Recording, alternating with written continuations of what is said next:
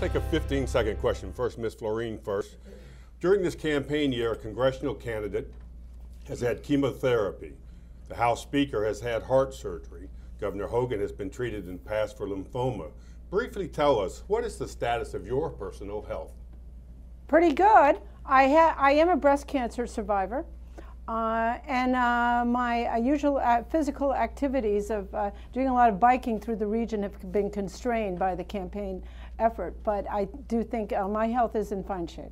Mr. Ficker? I'm in great shape. For 40 years, I ran the stairs at the University of Maryland Cole Fieldhouse almost every day. Over 6 million stairs altogether. I have a rowing machine in front of my TV. I don't watch you on TV Thank you very unless much. I'm rowing. Thank you very much. Mr. Elrich?